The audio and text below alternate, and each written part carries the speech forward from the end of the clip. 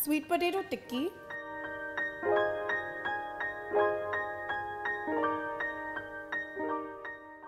Hi, welcome to Sanjeev Kapoor Khazana. I'm Sonika and the recipe we're making today is a starter. It's not just another normal regular starter. We're making a sweet potato tikki, but this one's really interesting and you're going to see why. So let's quickly run through the ingredients.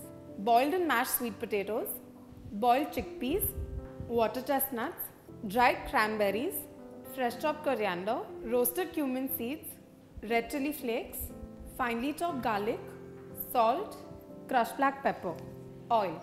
Now this recipe is really simple. You've seen the ingredients we're using and they're kind of fancy and a little different to make a tikki but this tikki does turn out fabulous. So let's start preparing it. What we're going to do for this is we've got some chickpeas which have been boiled. We're going to add them into a mixie jar. And along with this, we're going to add a couple of water chestnuts. Now, water chestnuts have a great flavor. In case you don't get fresh water chestnut, you could always use canned. To this, I'm going to add a little bit of salt And now we're going to grind this into a coarse paste. You don't want to grind this to a completely fine puree. You just want a slight bite from the ingredients. So let's blitz this. What we're going to do next is we're going to mix together all the other ingredients as well. So let's get some sweet potatoes in a bowl. To this we're going to add the chickpeas and the water chestnut that we pureed or mashed.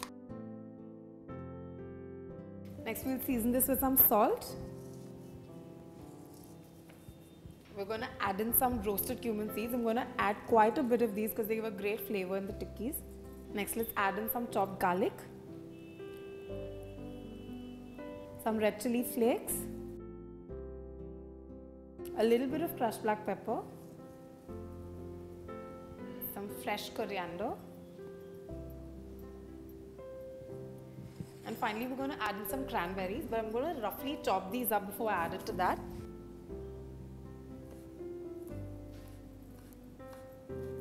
In case if you don't find cranberries, you can substitute these with raisins. They may not taste just as good, but they'll do just fine.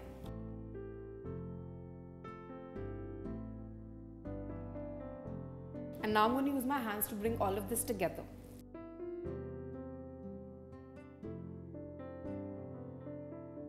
We've got our mixture for the tikkis ready.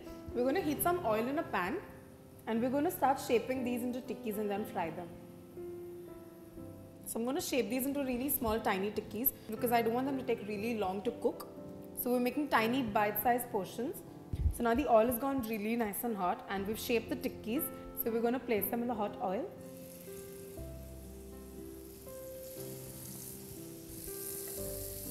And now we're going to fry this till it's nice and golden brown on both sides and then we can get ready to serve.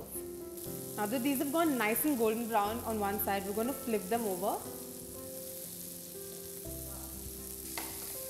And we're going to cook them till they get the same color on the other side as well. The tikkis are done on the other side as well. I'm going to quickly get them on an absorbent paper. Now we're going to garnish this with a sprig of mint. So here it is, a fabulous recipe for a sweet potato tikki. We've used unusual ingredients like dried cranberries, water chestnut and chickpeas that you don't normally find in a tikki. But this is a fabulous recipe, so make sure you try it.